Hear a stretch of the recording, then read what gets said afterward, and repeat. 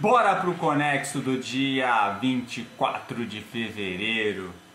As palavras estão aí na tela, aparecendo para a gente.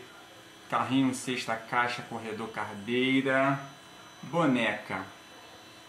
Boneca, pelúcia. Então vamos lá, pensando no brinquedo das crianças.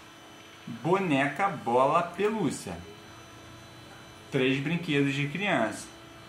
Agora fica aqui uma dúvida: pipa ou carrinho?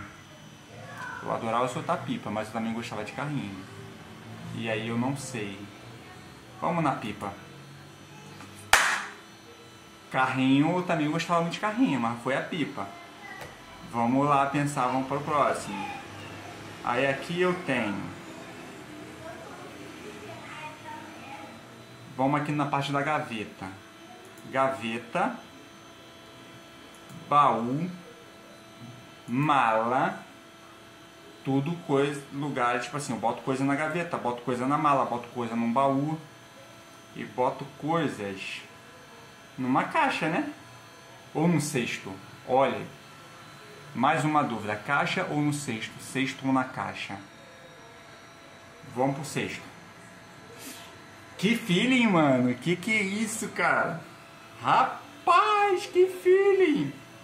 E agora nós vamos para, para, vamos pro sofá? Vamos embora pro sofá. Sofá. Sofá já é uma coisa o quê? Tu senta. Cadeira, tu senta. Aí vem. Pô, agora complicou. Não tem mais outra coisa que você senta. Então fica eis a dúvida. Vamos lá pensar aqui. Sofá, cadeira, é, estante e mesa. Cara! Aí, móveis. Eu pensei aqui em sentar, então pensei no sofá e na cadeira, mas tinha relação com móveis.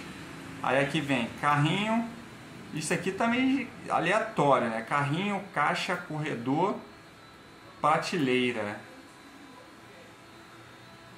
Supermercado! Nossa, eu nunca pensei nisso. Caraca, mas foi. Valeu. Se inscreve no canal, deixa o seu like. Até o próximo vídeo.